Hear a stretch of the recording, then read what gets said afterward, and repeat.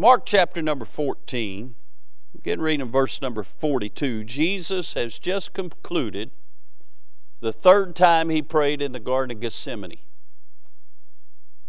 His three inner circle disciples, Peter, James, and John, he took with him, and like good uh, Baptists, even though they weren't Baptists, they fell asleep.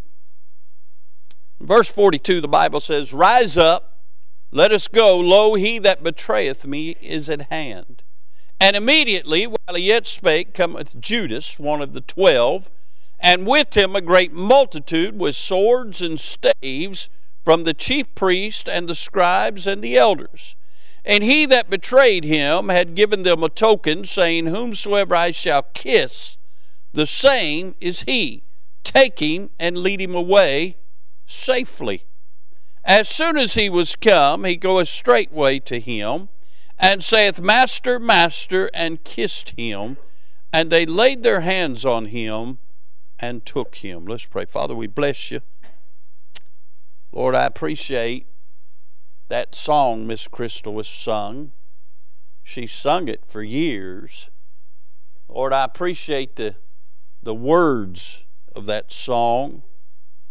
Lord, I pray that we will all be guilty of, Lord, serving you with all our heart and loving you with all our heart. And Lord, seeking you with all our heart. Lord, I think a lot of times we'll offer up lip service to that, but Lord, our actions don't prove it. Lord, help us to seek your face instead of seeking your hand. Lord, I really appreciated her singing it tonight, knowing what she's facing, what she's going through, and yet she still offers up praise unto God. Lord, what a blessing. Now, Father, I thank you for the Word of God.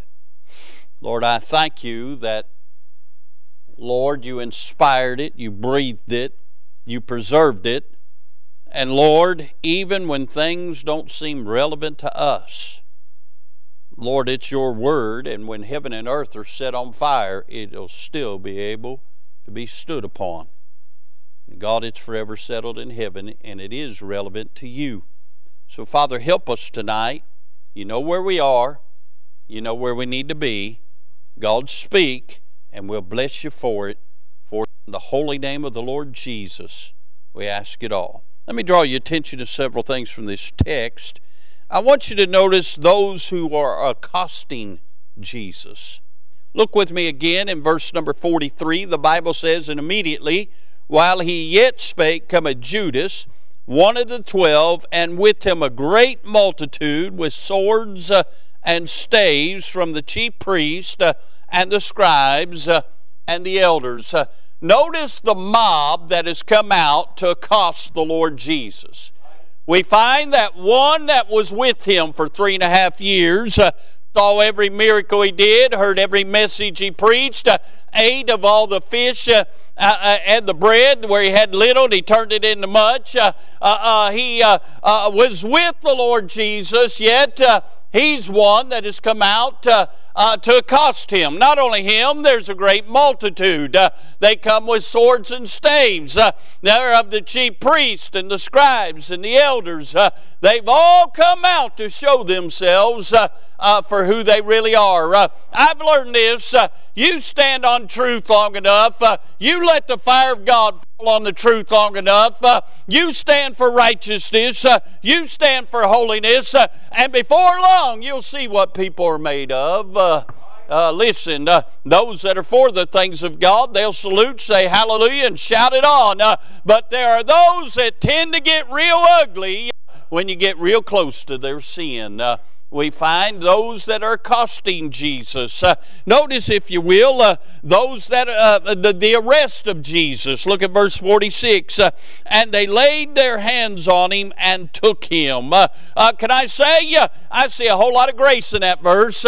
only a, a, great loving God would allow sinful man to put his hands on him. but yet, he did. Now, this is not the woman with the issue of blood who said, If I can touch but the hem hem of his garment, I'll be made whole. Uh, when he said virtue went out of him. Uh, no, uh, these aren't folks coming to seek help. Uh, these are folks coming to lay their hands on the darling Son of God. Uh, uh, because how dare him heal people on the Sabbath? How dare him claim that he and his Father are one? how dare him call them a generation of vipers? they've come out to show him.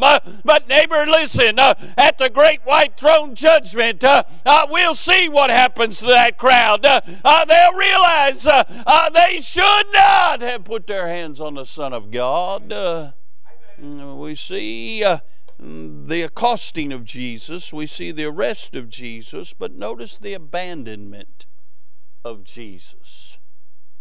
Can I say, first of all, there's the deserter in this text. Judas betrayed him. A few hours uh, prior to this, uh, they were having what we call the Last Supper. Uh, when the Lord Jesus uh, uh, tells his disciples one of them was going to betray him. Uh, and we know that when Judas went out, Jesus told him which he would do, do it quickly. and he went out and he sold the Lord Jesus out for 30 pieces of silver. We see the betrayer, Judas. He says, The one that I kiss, that's him. Huh? Can I say that Jesus uh, uh, uh, uh, lets them know later in the text, uh, hey, uh, I was with you daily in the temple. You didn't come with me in swords and staves. how can he preach to them daily in the temple and them not know who he is? Judas is putting a little extra emphasis on this. Judas goes up and kisses him on the cheek, and the Lord calls him friend. Yet Judas is already in his heart betrayed him. He's the deserter. Uh, Jesus didn't mean much to him. Hmm, 30 pieces of silver.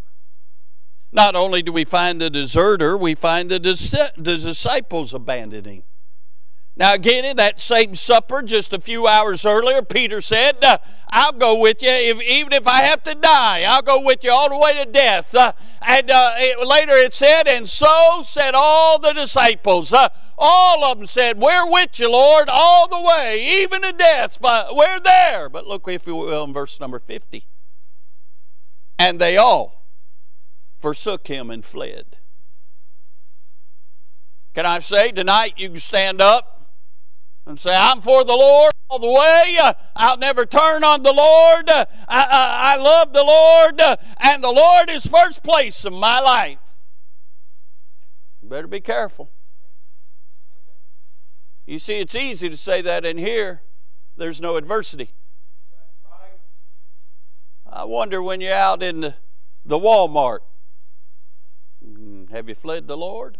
Have you abandoned Him? You're still standing strong. Uh, I wonder, when nobody's looking in you on your phone, young person, have you abandoned the Lord? I wonder on the job. I wonder at school. I'm talking about the 11 disciples. I'm talking about the ones who will be heralded in heaven. They all forsook him and fled. We see the deserter, Judas, abandoning. We see the disciples abandon him. But then we come to that obscure part that I had never really paid any attention to that had me scratching my head. Can I say that there is a dazed individual who abandons him? Look in verse number 51. Now, I never paid any attention to this, but here it is.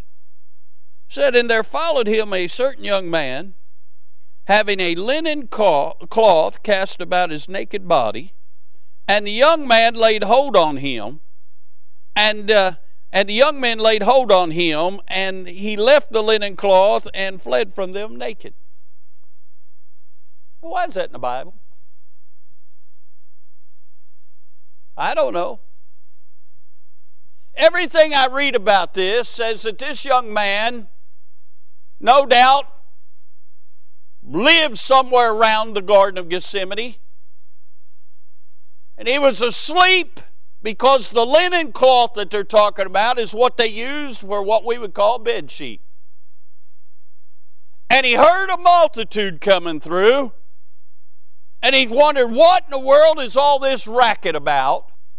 So he jumps up, throws the cloth around him, and goes to see. And the young men is talking about the young uh, uh, uh, men that were in the mob. They laid hands on him, uh, and uh, he left his garment and fled. This fella is confused. He's bewildered. Can I say something about this fellow? He's faceless. We don't know who he is.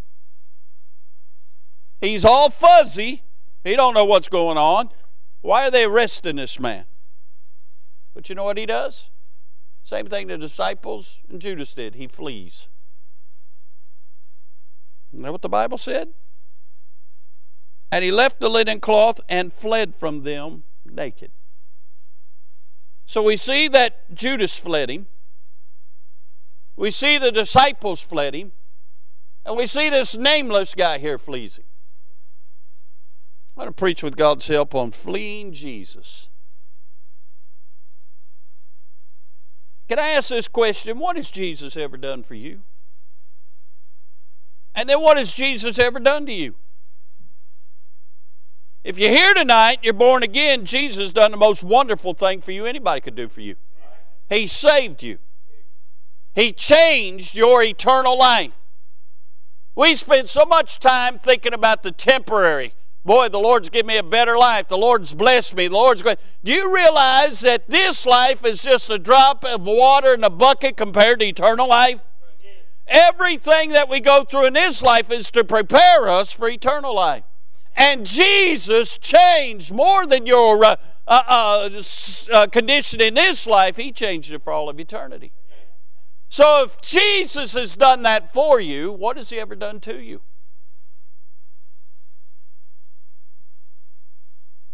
Has Jesus ever treated anybody wrong? Has Jesus ever done ill to anybody? Has Jesus ever forsaken anybody? Has Jesus ever fled from you?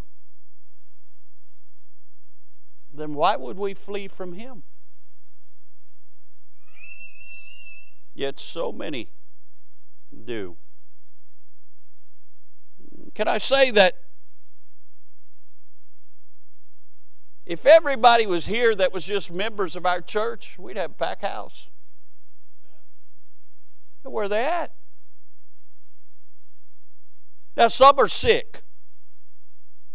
We got a rule around here. You got the gank, stay home with. We don't want the gank. Huh? I understand if you're sick. Some people are providentially hindered. I understand why Miss May Perry's not here. Trust me, if she was able bodied, she would probably be one of the first ones here. I understand that. But it's just like when Jesus healed the ten lepers and the one came back and worshiped him, he said, Where are the nine? We're not ten cleansed? Where are the nine? Where are folks? Why have they fled Jesus? What has he ever done to them? Here's the problem, Brother Ray. Listen, I didn't flee Jesus. I just had this, this, this, this. But is not Jesus the living word? And did he not give us the written word? And did he not say, not forsake the assembling of ourselves together? Huh? So much more as you see the day approaching. What day? His return? If there's any time we need to be in church, it's now. Uh, but you see, when we forsake His Word and we forsake His church, we're forsaking Him.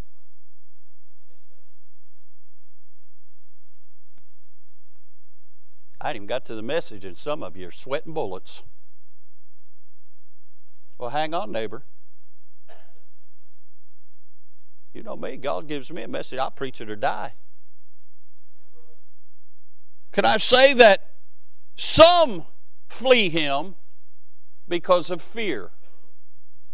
Can I say that those 11 disciples fled because of fear?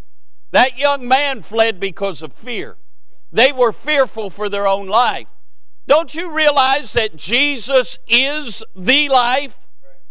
Don't you realize that if they would have hung out and said, We're just going to follow you, don't you think he would have taken care of them? He had a job for them to do. But they fled because of fear. Can I say there are people who will flee the Lord for fear of persecution? That's why some of you will come to church uh, and you'll hit the altar, young people, but at school, you won't mention anything about Jesus because you're afraid of what they'll say about you. Got real quiet right there, didn't it? Where's all that shouting from camp meeting you when you all was at camp last year? It's true. Well, I, I, I, just I'm I'm just you know afraid to say anything because you know uh, they come down on kids that say anything about Jesus. Hmm? Let them come down on it. You've only got the Constitution, even better than that, the Bible, even better than that, the Lord Jesus behind you. Why are you fleeing Him? Hmm? How many of you go to public school? What grade you in, kids? 11th. Do you realize two years from now you're never going to see any of them kids you go to school with? So why are you afraid of them? But you know who's going to be there? Jesus. Hmm? Huh? Listen, I've been out of school 40 something years. I've never seen anybody I went to school with. The only reason I'm reminded about where I went to school is because those two right there, huh? They didn't have any more sense to go to a better school than I did. Huh? But seriously, see how many you see Maddie. That's the only kid you see from high school. Hmm? Why are we so afraid of what people think, but we're not afraid of what Jesus thinks? Hmm? Does he not say, not to fear them that can kill the body, but rather fear him that can destroy the body and soul in hell? Shouldn't we fear him more than we do uh, our, our, uh, our, our, peers? Uh, we're so afraid of persecution. I'm afraid to tell my family that I'm going to church, so I'll stay home with them. Hmm? It's kind of later in the message, but I might as well say it now. Jesus said, If you love father or mother more than me, or son or daughter more than me, you're not worthy of me. Now, I love my family. You all know that. But I'm going to get in big time trouble if I start loving them more than I love Jesus. Mm-mm. Some flee because of fear of persecution. Some flee because of fear of, uh, of purpose, their, their commitments, their obligations. You know, they don't want to upset any of that. You know what your obligations and commitment ought to be? The house of God, the Lord Jesus first. Hmm?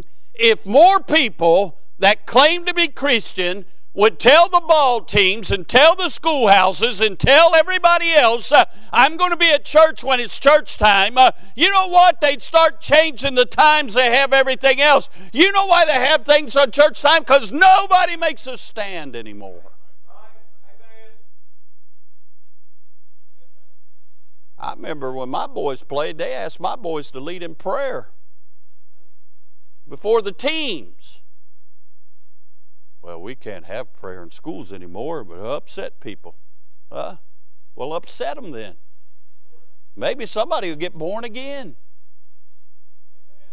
Can I say Jesus said he didn't come to bring peace to this world, but a sword? Can I say that you and I are not in some playpen? We're on a battlefield. And we're to earnestly contend for the faith which was once delivered unto the saints. But if we can't even muster enough to get to the house of God, how in the world can we fight this fight of faith? Thank you, Brother Phil. I'm going to preach it or die. I got seven more points. Buckle up. Huh? Or suck it up, Buttercup, whichever one. Some flee because of fear per persecution, fear of purpose, but also some flee because of proof of identity. They don't want to be identified with Christ. You know why a lot of people want to go to a big church so nobody know if they're there or not there? You know who knows? Jesus. He's taking an inventory. Matter of fact, he's keeping a record book. Hmm? And nobody slides on his records. Hmm? Can I say some flee because of fear? Can I say others flee because of folly? The pleasures of sin for a season mean more to them than Jesus. Hmm. Some of them just just so much folly. Well, preacher, you know, we can't come to church because, you know, we bought tickets to go see this. Hmm. You better be more concerned about your ticket to heaven.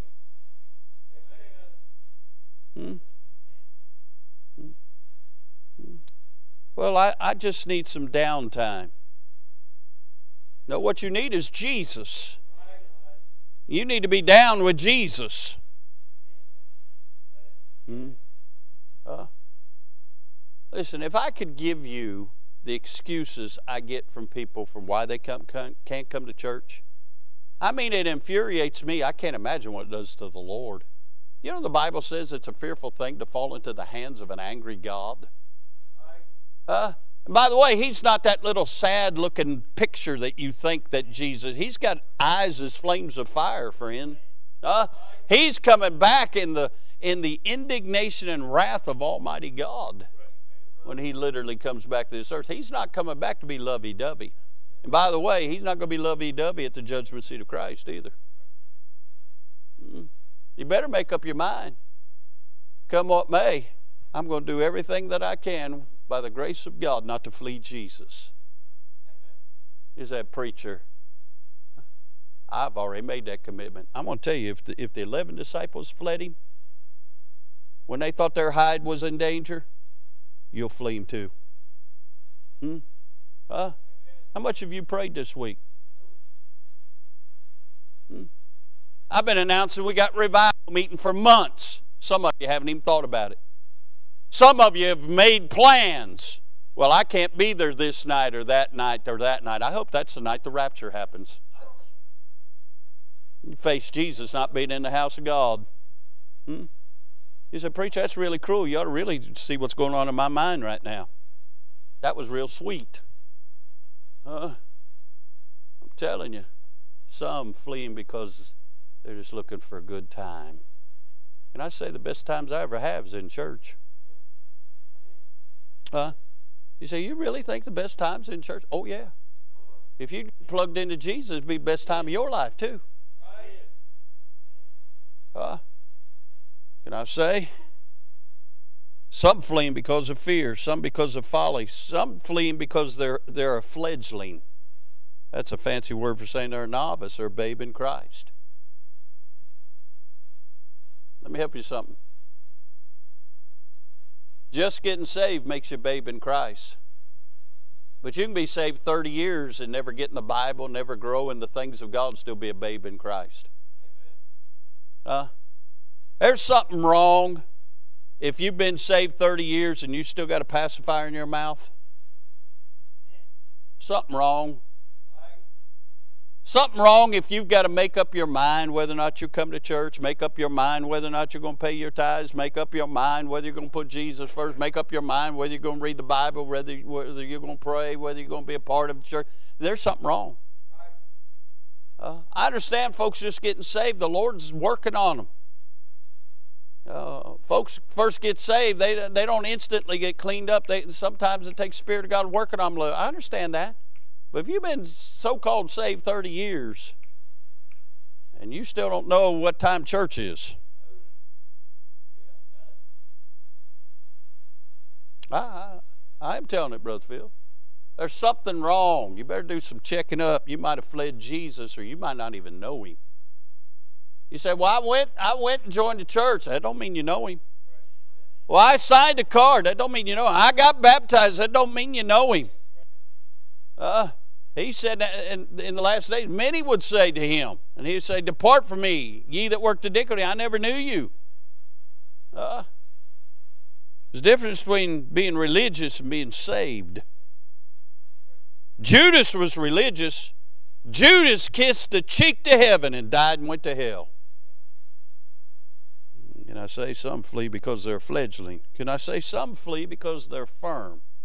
So what do you mean? They're stubborn. They're willful. They're going to have their way. I'm not going to have that preacher tell me anything. Well, you better let that Bible tell you something. Uh, you be stubborn, prideful, arrogant. Hmm? There's some people so arrogant, their nose is so high in the air, if they got caught up in the rain, they drown, huh? People so arrogant in church that if they was to cry, it'd run down their neck, the back of it, was their heads up in the air. Huh? There's some people, a GPS couldn't get them to the altar, do business with God. They're so full of pride. Huh? So opinionated. Hmm? Yeah, God help us. Some people fled Jesus because they're full of pride. I'm not going to follow him. I'm not going to be around that bloody mess. I'm not going to watch him be crucified. I'm not going to do it. I'll do it my way.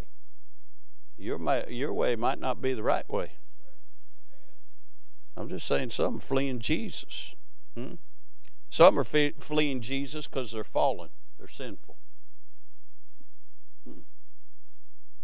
By the way, the Bible says for him to know what to do good and doeth it not, to him it is sin. You can be fallen sitting on church pew. You can be out of the will of God sitting in the church house. Hmm? Some are fallen. You say, well, somebody's really saved couldn't get out of the will of God. Well, read on, and see what happens to Peter. Peter chopped off Malchus's ear. Jesus puts the guy's ear back on. I don't understand how you can lay hands on somebody, arrest them when he just put your ear back on your head. I don't understand. I'm talking about you're full of the devil. You are so bent against Jesus that even when he does a miracle, you're going to arrest him. It's kind of like that crowd that's so bent against Trump. They will ignore the laws of the land to see ill brought to that man. Just because they hate him. You know why they hate him? Because he loves America.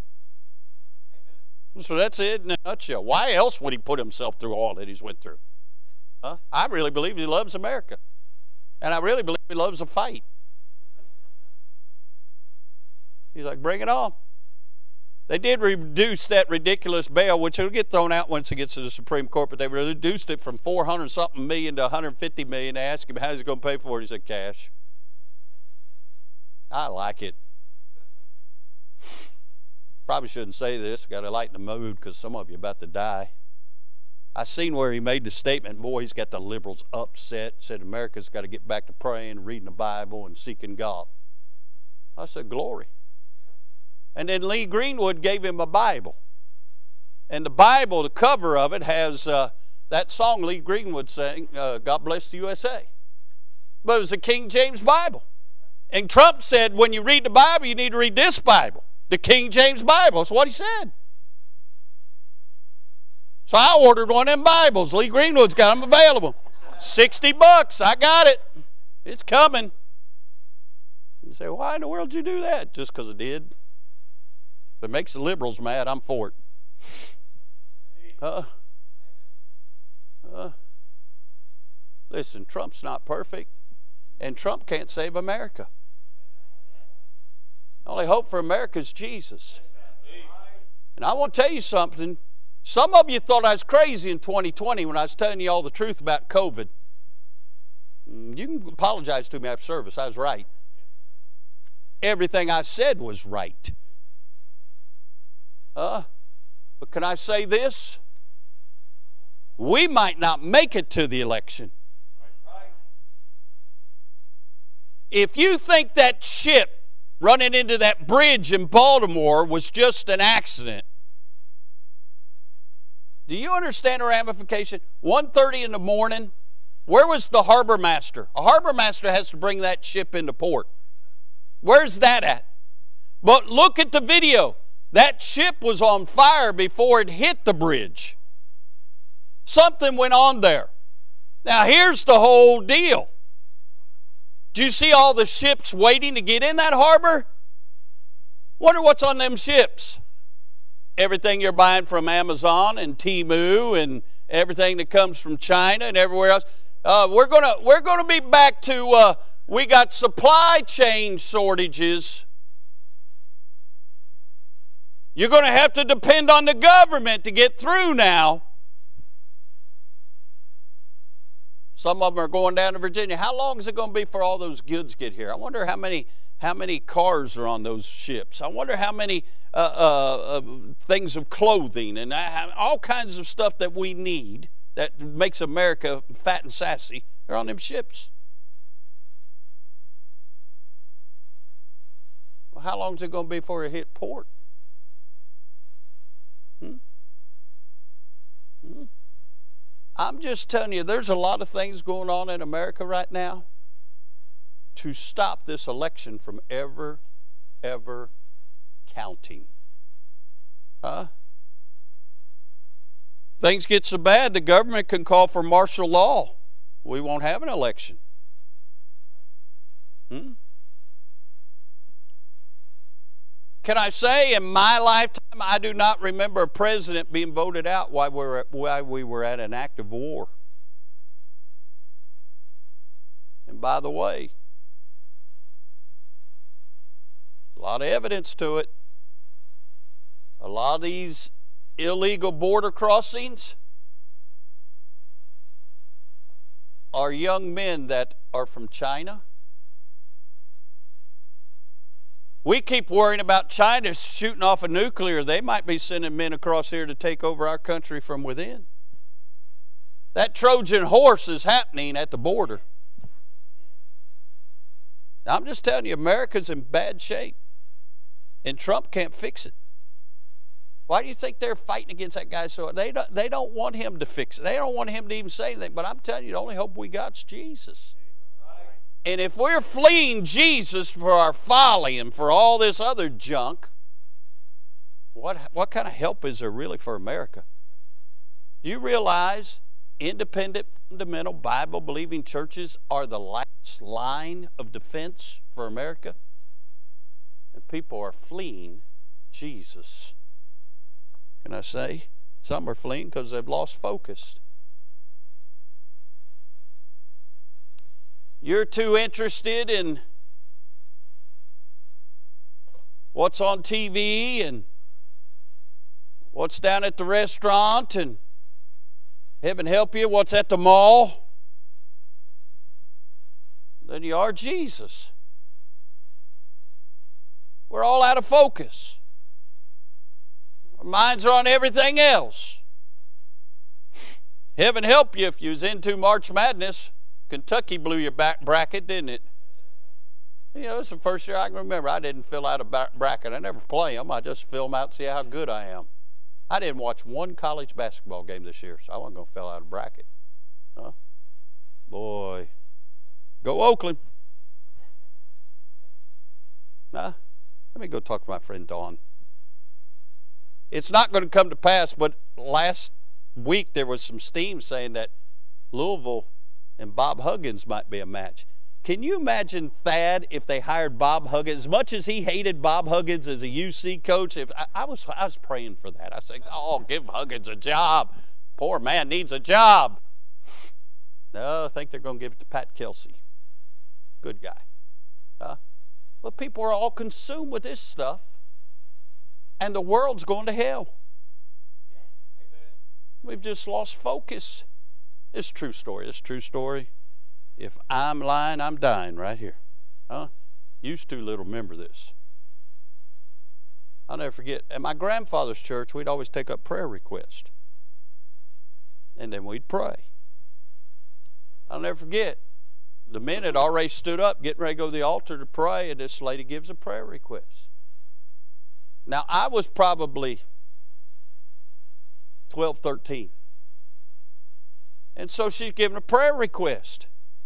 And she's talking about this lady's got a brain tumor. And back then, somebody got a brain tumor. I mean, that's a death sentence. I mean, you know, I mean, everybody's gasping, everybody's all concerned and, and everything. And she's going on, giving this prayer request going on. And she says, but I got to wait till Monday to see what happens. She's talking about somebody on a soap opera. But she was as serious as a heart attack. Well, then, when she said that, I didn't have much praying on me. Huh? That's a true story. But I'm telling you, that's how out of focus people get. They're consumed with the goofy soap opera. By the way, Bachelor in Paradise isn't real. Reality TV isn't real. Even the NFL isn't real anymore. It's flag football now with some of the new rules. I'm just saying, people get so consumed with junk, they're fleeing Jesus. I told Miss Annette back last year when all these betting sites came out. I'm thinking, how are they going to keep this, you know, keep the players from getting involved in this? Well, guess what's came out last two weeks?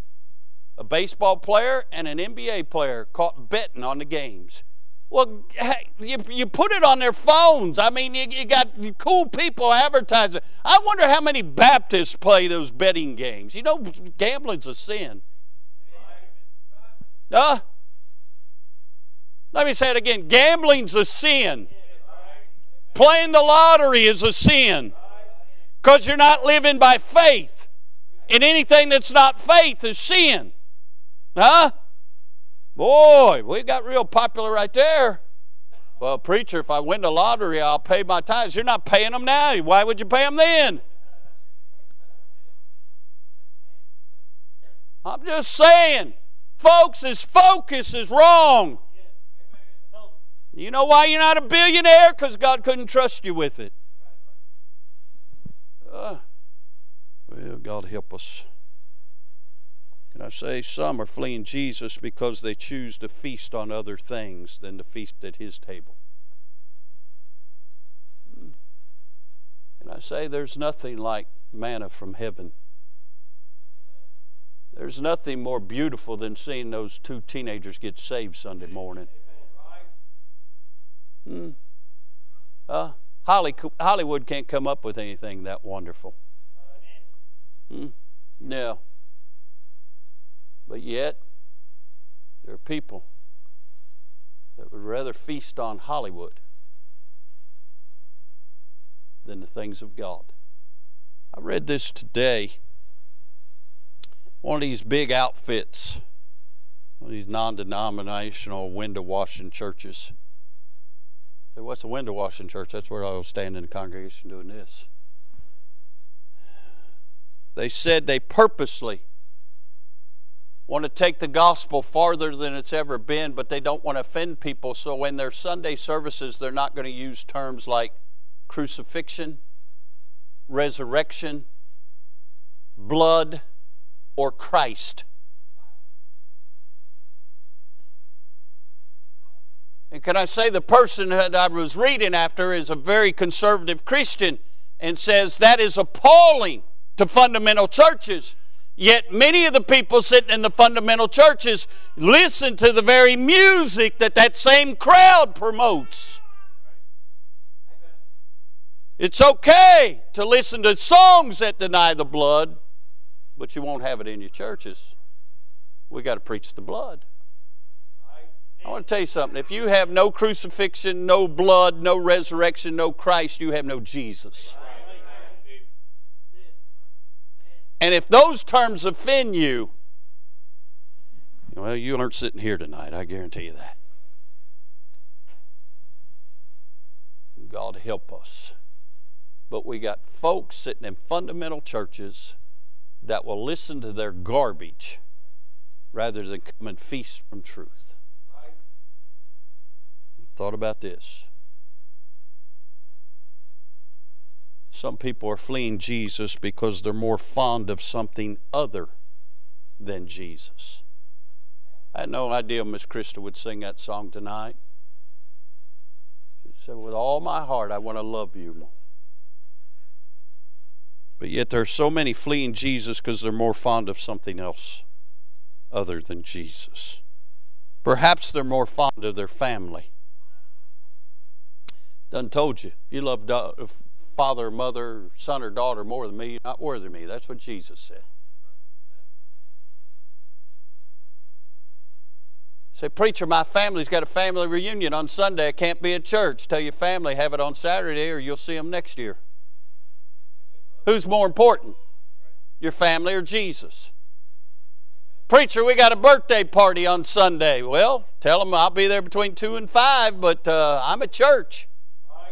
What's wrong with having your family reunion at church? Have your family come to church with you. What's wrong with coming to church and then having your birthday party? Huh? Oh, we got a baby shower. Well, what's wrong with having it when it's not church time? Hmm? Or going when, it, when you get out of church. Be a little late. Hmm? What's wrong with that? Huh? Uh, preacher, we got to have this big dinner. What's wrong with feasting at the Lord's house and then having dinner afterwards? Huh? Well, preacher, it's my family. Which is more important, Jesus or your family? Said, preacher, you don't really act that way. You asked Miss Annette where I was last last Monday night on our wedding anniversary. I was preaching the gospel. She told me, go preach the gospel. I love her more than life itself. But Jesus called me to do a job. My job is to honor Him. My life is His. It's been bought with a price. We had a wonderful series on the doors of opportunity. Maybe the Lord doesn't open many doors for you because you're too busy fleeing Him. Some are more fond of their family than they are Jesus. Some are more fond of their friends than they are Jesus. Some are more fond of their personal freedom, their own choice they love the idea of being saved, but they want the luxury of living however they want to live. There's only one problem with that that's not Bible. Again, we've been bought with a price, the precious blood of the Lord Jesus Christ. Our life is no longer our own. Any man be in Christ, he's a new creature. Old things have passed away. Behold, all things become new. Uh, used to be bound by sin, used to be a slave to sin. Uh, once you got saved, uh, you got a new master. His name is Jesus. Uh, uh, uh, you do not have the choice to live however you want to. You're to live as Christ. But I want my choices, my freedoms. I know people think that it's okay if they just gather with their family and have a little Bible study instead of coming to church. There's only one problem that's not scriptural. We've been called out from this world to be separate. And the church is a called out assembly of baptized believers. Uh, and here is where God chooses to meet with his people. Not at the lake, not the living room, uh, not wherever you think. Hmm? So we had a little devotion, had prayer, but there's one thing you didn't have. His name is Jesus. Mm-hmm. I'm not. I'm understand why God had me preach this. We got revival in two weeks. Mm-hmm. They're more fond of falseness than they are Jesus. They're more fond of fatuity or vanity than they are Jesus. Therefore, they flee Jesus. Now, this is a message you can't answer for tomorrow. Because, see, there aren't people with swords and staves coming at you tonight. Some things we won't know till the pressure's on. Heard people say, well, I'm going to, I'm willing to die for Jesus. He didn't ask you to do that, He asked you to live for Him. But there may come a day when we might have to be willing to die for our faith. I promise you this if folks can't make it out on Wednesday night prayer meeting, they won't die for their faith. I'm just going to tell you that right now. Hmm. There's something called conviction. I'm talking about deep down conviction where you will not deny the Lord that'll cause you to die for it. And we won't know how deep that conviction goes till we're put to that test. But I can say this how about tonight? Are you with Jesus? Or have you fled him? Maybe you're guilty of fleeing him. Are you willing to do something about it? See, sometimes, Colonel, a message like this will make people feel bad because they know they haven't done right. So they experience something called remorse. Well, that doesn't change the situation. The only thing that's going to reconcile what has been broken between you and Jesus is something called repentance. Where you come and you confess that you have forsaken Him, you ask Him to forgive you, and then by the grace of God, with determination, you have the mindset, I'm never going to do that again. That's turning from it. That's repentance. Now, on down the road, we can't see. We don't have a looking glass. You may fail him again. But he is a long suffering God that will allow you to repent again. But you can't uh, come with the mindset, well, I'll just do it again. He'll forgive me again. Now, that's not repentance. Hmm? Can I say?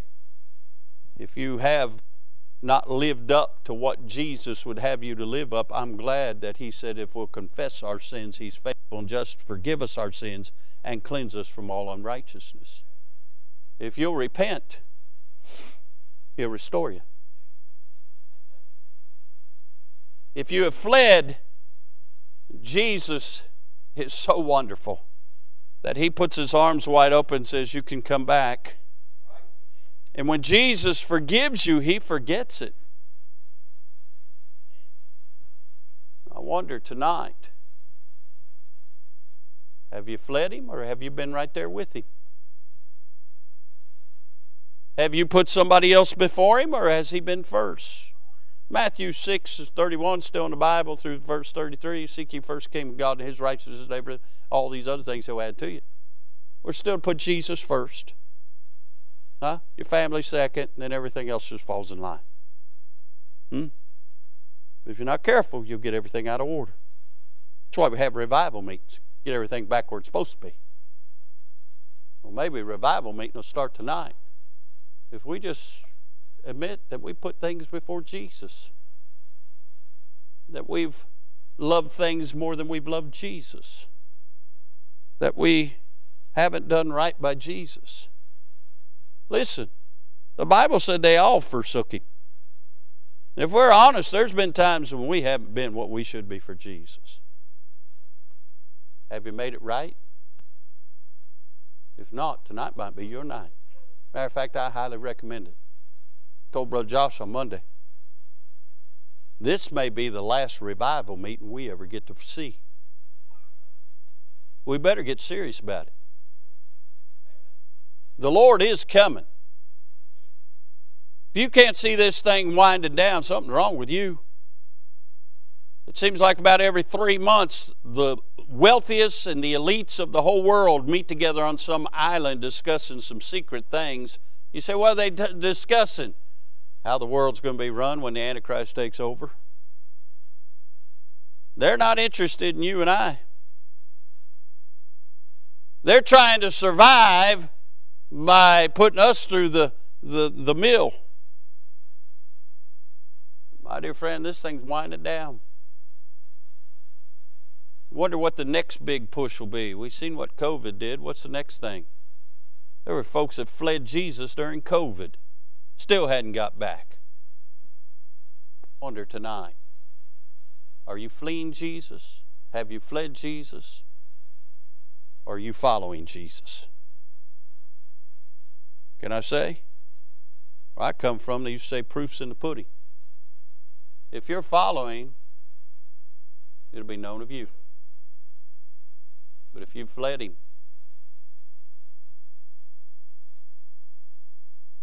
you can't even hold your head up right now.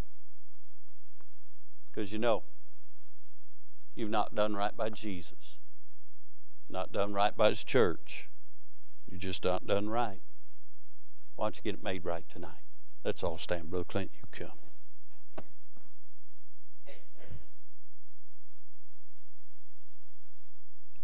They come to pick out a song. Maybe you're following him. Why don't you come pray for folks that haven't? Folks that's fled. Folks that's fallen. Maybe you need to come tonight. Pray for somebody gets saved this Sunday. I don't know. I know a message like this requires a decision. So folks are praying. They're picking out a song. Let's pray. Father, we bless you. Lord, thank you for the Word of God. God, forgive us where we have fled.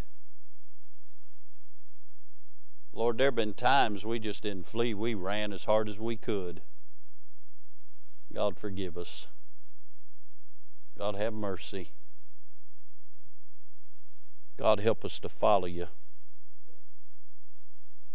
God, give us grace and strength and grit to follow you, to bear our cross.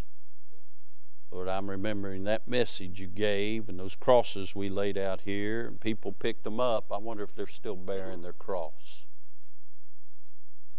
God, speak to hearts.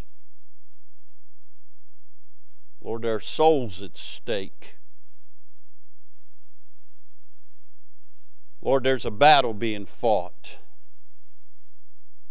Help us to stand, and having done all to stand, stand therefore. Help us to stand in the gap and make up the hedge. Help us, Lord, to be all we can be in Christ. So when you do appear, we won't be ashamed. Father, bless now. Bless this invitation. Speak to hearts. Well, thank you for it in Jesus' name. Amen. Turn away. Did you know that you could receive a daily devotion every morning in your inbox? Head on over to ibcflorence.com and click on Daily Devotions to sign up today. And as always, thanks for listening.